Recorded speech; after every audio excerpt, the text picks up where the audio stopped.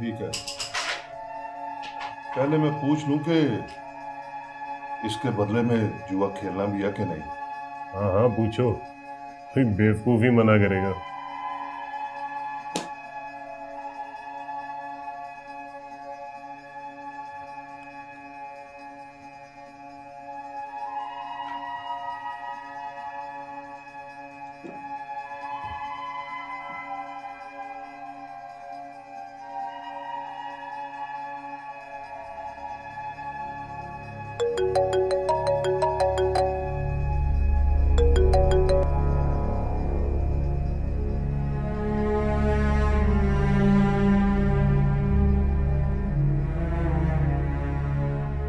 कौन लाया कुड़ी को। लाया कोई नहीं भाई। इसका शोहर है। जुआ खेलना चाहता है। वो तो लाएगा कौन है? ये खुद ही बंदोबस्त करेगा। ठीक है। अगर वो जीतता है ना तो दोबारा खेल वो तब तक खेलना है जब तक वो हार नहीं जाता। और हार जाए ना तो फिर मुबशिर को डिलीवर कर दी। ठीक है? ठीक है बॉस चलो भाई आ जाओ। लगाते हैं बाजी। ये हुई ना बात भाई जगह खाली कर। आज तो तुम लोगों को खाली करके जाऊँगा। आज तो पता चलेगा कौन जीता ये तो गेम पे है। बांट बांट।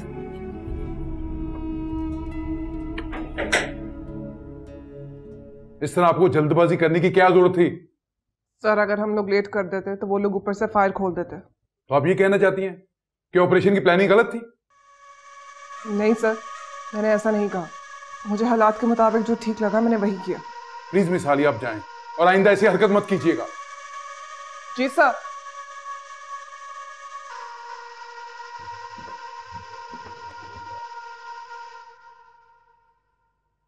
जुमा खान इस लड़की में कोई बात है? बिल्कुल सर। बड़ी दिलेरी दिखाई जी इसने। और जिस तरह इसने उनके साथ अंदर मुकाबला किया सर बड़ी बात है। तुम ठीक कह रहे हो। कुछ टेस्ट केस इस लड़की को दो ताकि हमें पता चले ये काम कर सकती कि नहीं। क्योंकि तुक्का तो कभी कभी लग ही जाता है। जी जनाब जैसे आपका हुक्म। और हाँ उनके खिलाफ जो भी रिकॉर्ड है वो इकट्ठा करो और ऐसा केस बनाओ कि वो हराम खोर आइंदा बच ना सकें। Yes sir. आपको तो पता है मैं पहले ही उनसे खुश नहीं हूँ।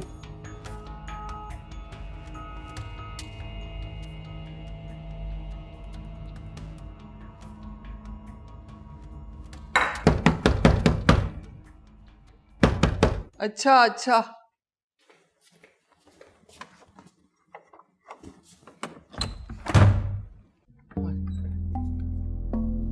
हाय मैं मर गई।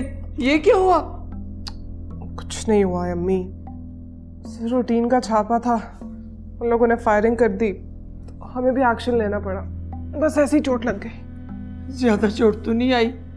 इसीलिए मैं डरती थी पुलिस की नौकरी से। नहीं अम्मी ज़्यादा चोट नहीं आई। बस चलता है ये सब कुछ। ये ये क्या हुआ अभी? चोट लग गई है। छापे के दौरान वहाँ फायरिंग हो गई। ज़्यादा तो नहीं लगी आपको? नहीं कुछ भी नहीं हुआ है मुझे। अम्मी तो ऐसे बिना वजह घबरा रही हैं। अरे ऐसे नहीं घबरा रही मैं। पहले तुम्हारे अब्बा के लिए दुआएँ मांगती रहती थी। और अब जब से तुम क्या करूँ? मेरे तो दिल को धड़का ही लगा रहता है। क्या हो गया है आपको? हम तो ऐसी परेशान हुई जा रही हैं। अम्मी प्लीज़ सब ठीक है मत घबराएँ। कैसे ना घबराऊं बेटा? कैसी बातें करते हो? मेरे पास तुम दोनों के अलावा देखने को और है ही क्या? तो अम्मी हम दोनों कहाँ जा रहे हैं? आपके पास ही तो है। और मौत का क्या है अम्मी? वो तो कभी भी कहीं पे भी आ सकती है। अरे अल्लाह ना करे। कैसी बातें मुँह से निकाल रही हो? चुप। खबरदार ऐसी बात की तो। अच्छा तुम लोग बैठो। मैं तुम लोगों के लिए खाना लगा रही थी।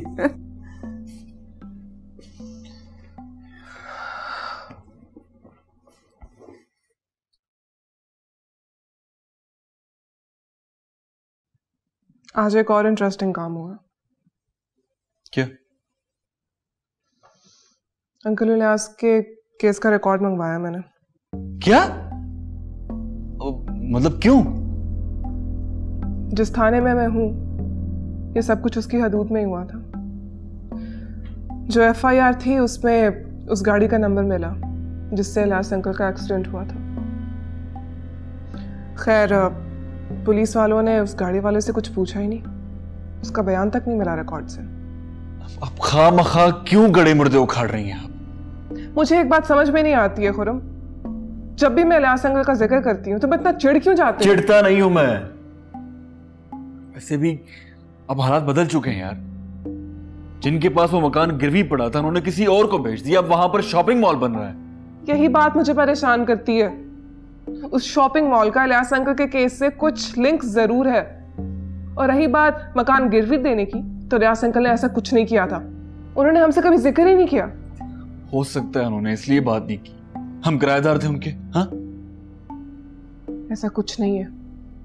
हम लोग इलियास अंकल के लिए सिर्फ़ किराएदार नहीं थे। खुदा का वास्ता है बस कर दे। अम्मी खाना लगा रही होंगी मैं हाथ धो रहा हूँ।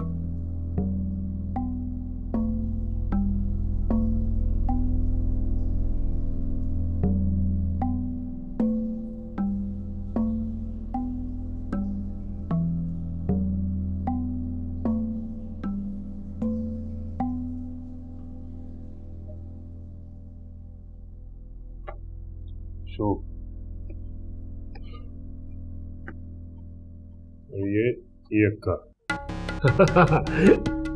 बस भाई बस मेरे लिए तो इतना ही काफ़ी है।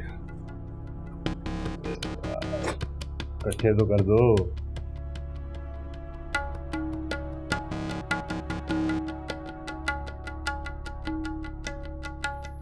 ऐसे तुम जीत के नहीं जा सकते।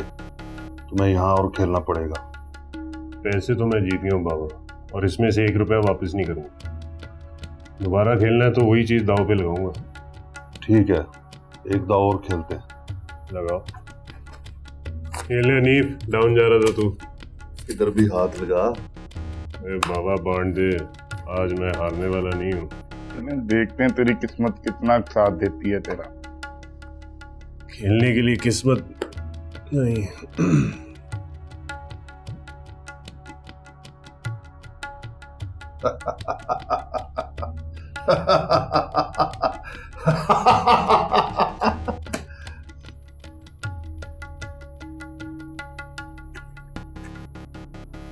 अब बताओ क्या करना मैं क्या बताऊँ? तुम बताओ।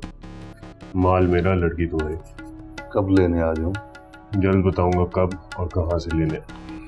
चल तो। उड़ा यार। Okay Lala. Okay. Okay. Hello Shazia कैसी हो? मैं बिल्कुल ठीक हूँ। तुम सुनाओ कैसी हो? कुछ मत पूछो यार। आज पहला छापा था। छापा? वाह कहाँ पे था? सब बताती हूँ तुम्हें। लेकिन पहले एक छोटा सा काम कर दो मेरा। तुम्हारा रजिस्ट्रेशन डिपार्टमेंट में कोई जानने वाला है? रजिस्ट्रेशन डिपार्ट हाँ है। अ, मेरा एक कोलीग है। उसका भाई रजिस्ट्रेशन डिपार्टमेंट में होता है। खैरियत? अच्छा यार एक गाड़ी का नंबर है मेरे पास। अब उसकी कुछ डिटेल्स चाहिए तुम बता दोगी? ओके अ, एक सेकंड तुम ना मुझे नंबर लिखवाओ और मैं उसे ये आगे फॉरवर्ड कर देती हूँ एंड देन यूल नो हाँ लिखो।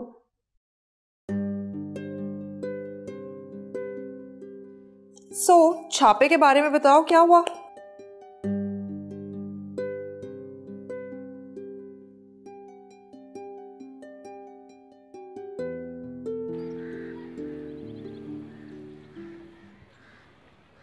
पता नहीं क्या हो गया था माँ जी।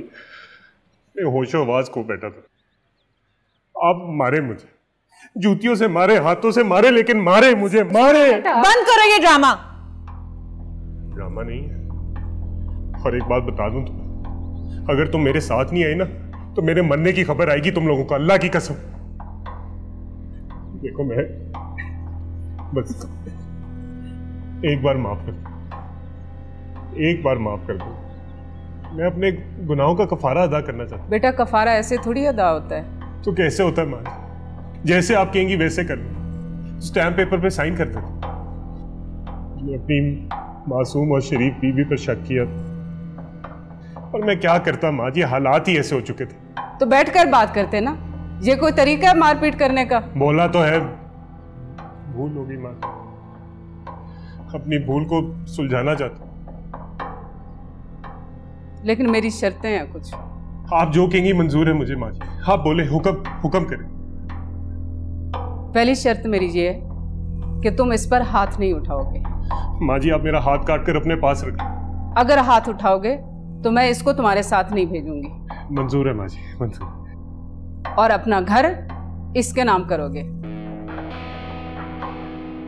हाँ घर क्यों? मेरा सब कुछ ही इसके नाम कर दूँगा। कसम से। फ़ौरन नौकरी ढूंढोगे या कोई कारोबार करोगे? इस सब के लिए तुम्हारे पास तीन महीने का वक्त है। ठीक है माँ हो जाएगा। महक तुम्हें कुछ कहना है? इसको क्या कहना है? मुझे इस शख्स पे एतबार नहीं क्या चाहते पाँव पड़ जाऊँ तुम्हारे? ये लो। एक बार मेरी बात का एतबार कर क्या। करें? हटे यहाँ से। ऊपर बैठ के बात करें। कसम से महक। जिस दिन से ये सब कुछ हुआ ना, अंदर ही अंदर कोई चीज़ मुझे खाई जा रही ना दिन को सुकून मिलता है, ना रात को चैन। नहीं कितनी रातों से सोया नहीं। और अगर तुमने मेरी बात का एतबार ना किया ना, मैं सोऊँगा भी नहीं। बेटा, इतना कह रहा है तो सुन लो इसकी बात। सुबह का भूला शाम को वापस आ जाए तो उसे भूला नहीं कहते। लेकिन अम्मी बेटा जब तक स्टाम्प पेपर नहीं लाएगा मैं ऐसे थोड़ी जाने दूँगी तुम्हें। आप गवाह लाए ना मैं अभी ले आता हूँ स्टाम्प बेटा आप स्टाम्प पेपर ले आए। मैं गवाहों का बंदोबस्त करती। मैं अभी लेके आता जाने से पहले आप दोनों से एक बार फिर माजरत करना मैं अभी आ रहा हूँ ये सब ड्रामा कर रहे हैं अम्मी आप क्यों नहीं समझ रही? तुम फ़िक्र मत करो। ऐसे हाथ बांधूँगी इसके कि तुम पर हाथ उठाने से पहले दस बार सोचेगा। एक बार खुरम से बात कर लूँ उसे बीच में मत लाओ बेटा। उसके अपने मसले होंगे। अच्छा लड़का है। बार बार उसका एहसान लेना अच्छा नहीं है। मैंने कौन सा उसके साथ अच्छा किया? मेरा दिल तो कुछ और ही कह रहा है। बेटा तुम्हारे अब्बू बीमार रहते हैं। कौन पड़ेगा थाने कचहरियों के चक्रों में? अगर ये खुद आ गया है मसला हल होता है तो होने दो ना।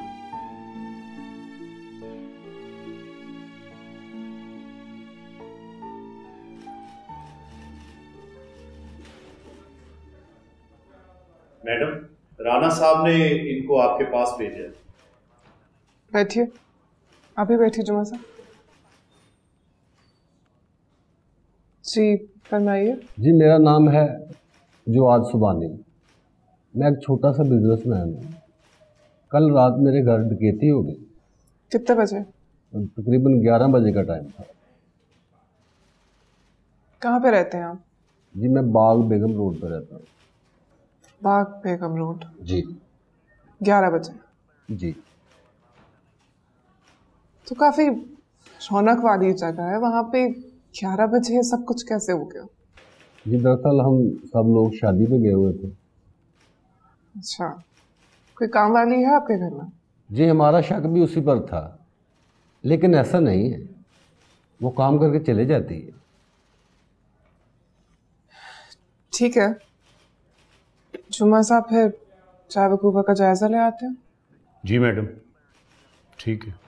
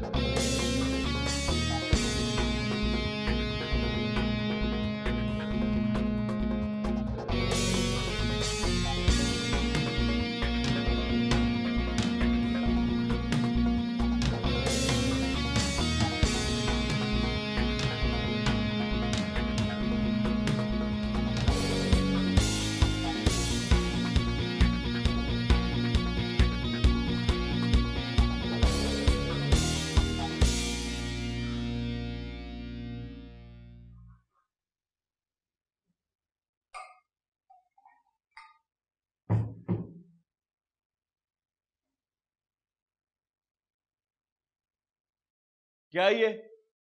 इतना बड़ा धंधा चला रहे हैं यहाँ पर। ठंडा पानी तक नहीं है पीने को। जल्दी लेके आए पानी।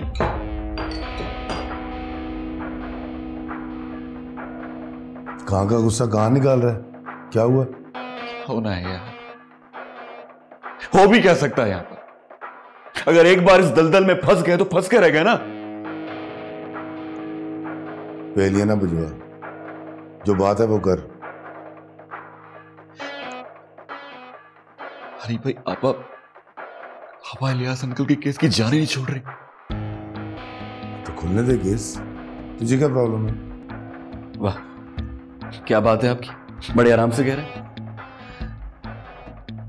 भाई आप अच्छी तरह जानते हैं कि इस केस में कौन मुलविस था। जानता हूँ। अच्छी तरह जानता हूँ। देख यार ये एक गलती हो गई तुझसे नादानी में। फिर क्या हुआ?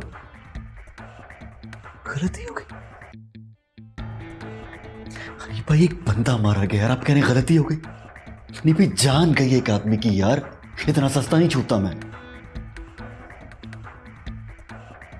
अब इन बातों से बहुत आगे निकल आए हैं हम। ये छोटी छोटी बातें हैं तुझे टेंशन नहीं लेनी चाहिए इनकी। समझा? आगे की सोच आगे की। भाई आगे कैसे बढ़ेंगे यार? जिनके साथ हमारा राब्ता था उनको पता चल गया। मैं सेटिंग करूँगा सारी। ये जो सलीम और बशीर है ना इनके सीने कोई फौलाद की नहीं इसमें से गोली नहीं गुजरती। देख तूने सिर्फ़ इतना करना है कि आपा के सामने बिल्कुल नॉर्मल रहना है। उनको शक ना हो और ये गड़े मुर्दे ऐसे नहीं उखड़ा करते। आप ही से मैं बहस कर रहा था तो वो तो मुझे ऐसे देख रही थी जैसे शक कर रही थी मुझ पे यार। आप कहा जा रहे हैं? जनाब आपके लिए ठंडा पानी लेने जा रहा हूँ। भाई शर्मिंदा करें आप प्लीज़ बैठे।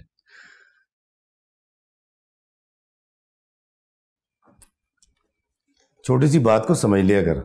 इतना परेशान मत हुआ कर।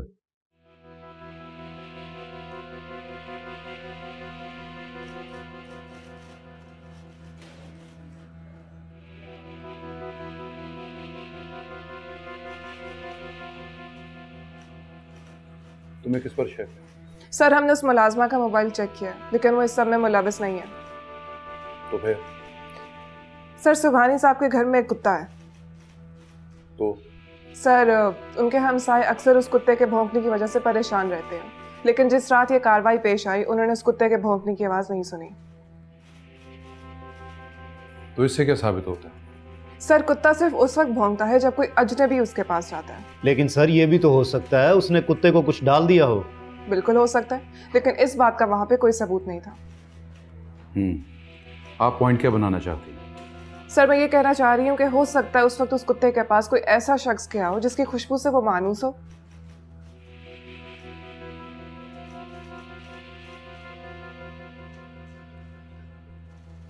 वो बंदा कौन हो सकता सर मुझे सुबहानी साहब के बेटे पे पूरा शक है।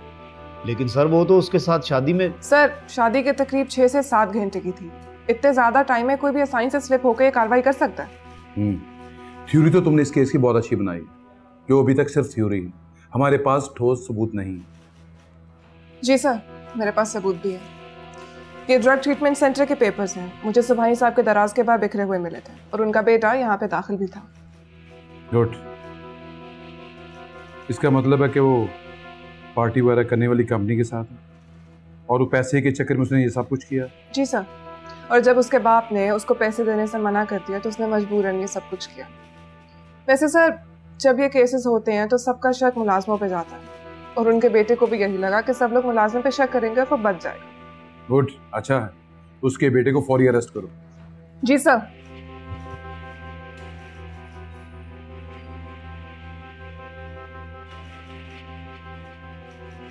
जुमा खान तुम्हें कहा था ना इस लड़की में कुछ है?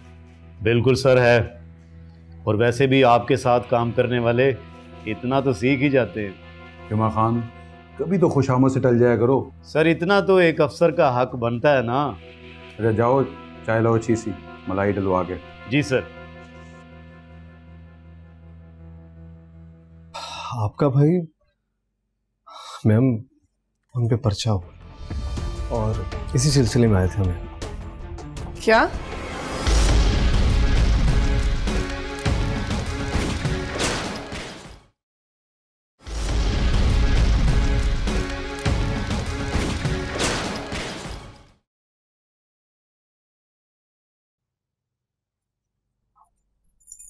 ये घर का क्या हाल बनाया हुआ? तुम्हारे बिना ऐसा ही हाल होता ना। तुम ही तो जो इसको सजाएगी बनाएगी। अच्छा ठीक है। ज़्यादा मस्का ना लगाए। अभी तो बनता है मस्का लगाना। अभी अभी स्टैम्प पेपर पे सब कुछ तुम्हारे नाम कर दी तो मैंने कौन सा सच में ले जाना है? सब कुछ यही रह जाना है। आप जाएँ जाकर दूध ले आए। मैं आपके लिए चाय बना देती हूँ। हाँ सर में दर्द हो रहा है। सारी दोपहर कचहरी के चक्कर लगाता रहूँ स्टैम्प पेपर के मैं दूध लेके आता हूँ।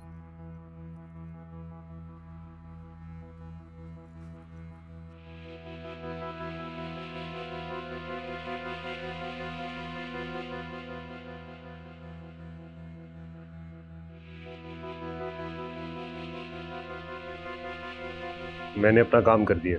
वो इस वक्त घर पे ही है और दरवाज़ा भी खुला। हाँ जितनी जल्दी हो सकता है आ जाओ। मैं आधे घंटे बाद आ जाऊँगा घर वापस।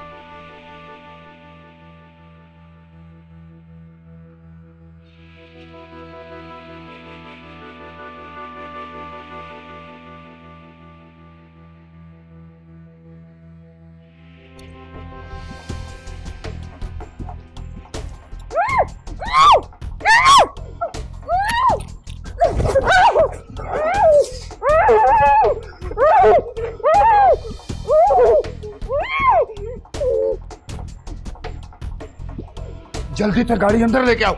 गाड़ी।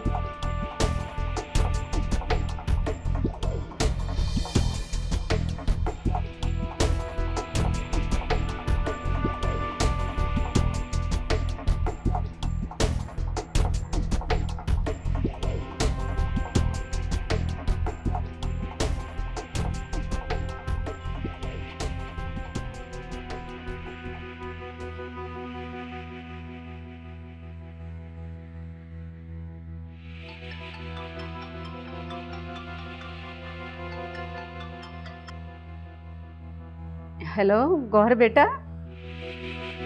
क्या बदतमीजी है? उसके वही पुराने लक्षण रहे ना। मैं घर क्या लेके आया और थोड़ी देर बाहर गया हूँ अपने यार के साथ भाग गई। क्या बकवास कर रहे हो तुम? बकवास नहीं करा सारे पैसे और जेवर भी ले गई है। मुझसे स्टैम्प पेपर पे साइन करवा रही थी और तेरी बेटी ये करती है अब तू मुझे थाने में मिल। थाने में। हेलो? हेलो? हेलो?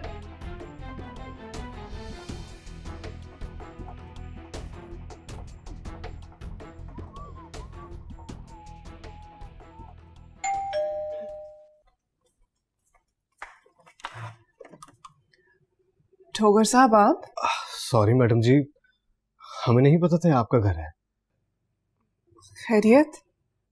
यहाँ के खुरम साहब भी रहते हैं मैम? जी खुरम मेरा भाई है बताइए। आपका भाई? मैम उन पे पर्चा। हो और इसी सिलसिले में आए थे हमें। क्या? जी कोई गौर जमीर साहब उन्होंने अपनी बीवी के अगवा होने का पर्चा करवाया। और महक नाम है उस लड़की महक? क्या आप जानती हो डॉक्टर साहब खुरम इस वक्त घर पे नहीं है। वो जैसे ही आएगा मैं उसे खुद थाने ले आऊँगी लेकिन लेकिन अगर आप लोग फिर भी इंतज़ार करना चाहते हैं तो प्लीज़ अंदर आइए। नहीं नहीं मैडम जी आपने कह दिया यही बहुत है हमारे ठीक है अब हमें इजाज़त दीजिए। खुदा हाफिज़।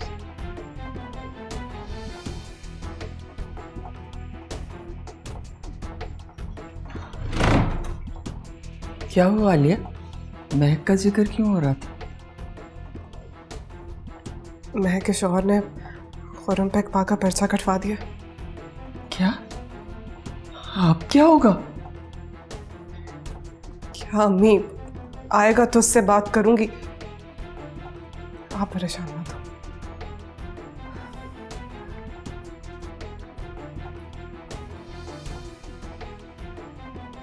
वो जवारी है शराबी है। महक पर रोज तशद करता था मारता पीटता था उसको यार। मुझे तो लगता है ज़रूर इसमें कोई ना कोई चाल है उसकी। तुम्हें कहाँ मिल गई वो दोबारा? दूर रहना था उससे। पहले भी उसने हमारी ज़िंदगी अजाब कर दी थी। अम्मी कुछ नहीं किया मैंने। और वैसे भी अब पुराने हालात नहीं है मेरे हैंडल कर सकता हूँ मैं। तुम ऐसा कुछ नहीं करोगे। तुम मेरे साथ चलोगे अपनी गिरफ्तारी दोगे बस। इस तरह तो मैं कुछ साबित नहीं कर पाऊँगा। अपनी बेगुनाही तक साबित नहीं कर पाऊँगा। बेगुनाही साबित करना पुलिस का काम है तुम्हारा नहीं। तुम पर इल्ज़ाम लगा है। जब पुलिस इन्वेस्टिगेट करेगी तो दूध का दूध और पानी का पानी हो जाएगा। अच्छा तो इससे पहले कौन सा पुलिस वालों ने दूध और पानी अलग कर दिया जो इस बार करेगी? तुम मेरी बात समझ क्यों नहीं रहे हो? तुम क्यों चाहते हो कि तुम्हारा केस और भी खराब हो जाए? जो मैं कह रही हूँ बस वही करो। आप समझाएँ इसे। ठीक कह रही है। खुद पुलिस में है। तुम्हें कुछ नहीं होने देगी। और वैसे भी खुरम अगर तुमने कुछ नहीं किया है तो गिरफ्तारी देने में क्या हर्ज है?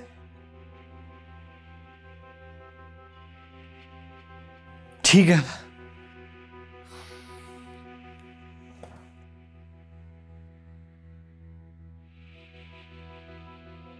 वो एक दूसरे को जानते हैं? सर खुरम बता रहा था कि गौहर एक जवारी है। वो अपनी बीवी पर टॉर्चर भी करता है। खुरम ने महक की मदद करने की कोशिश की है। डोगर कहीं ऐसा तो नहीं कि खुरम के साथ उसने अपनी बीवी को देख लिया हो? उसके बाद से वो इंतकाम लेने पर तुल गया हो। इससे पहले ये बात सामने नहीं आई कि वो शख्स जवारी और शराबी है। जी बेहतर सर। डोगर आप इस केस में आलिया से मदद ले सकते हैं। आलिया आप इनकी मदद करो। और जितने लोग इस केस में शामिल हैं सबके मोबाइल डाटा चेक कराओ। अगर लड़की खुरम के पास नहीं है तो फिर कहाँ है? इसका पता चलना चाहिए। इन पहलुओं पर गौर करो। और आलिया बाकी केस के अपडेट्स क्या हैं? सर सुबाई साहब के बेटे को गिरफ़्तार कर लिया है। उसने एक बाली बयान भी दे दिया है। वेरी नाइस और माल की बरामदगी हुई? जी सर वो भी हो गई है। ओके मुझे कोर्ट जाना है पेशी है मेरी। बाद में मिलते हैं ठीक है? सर।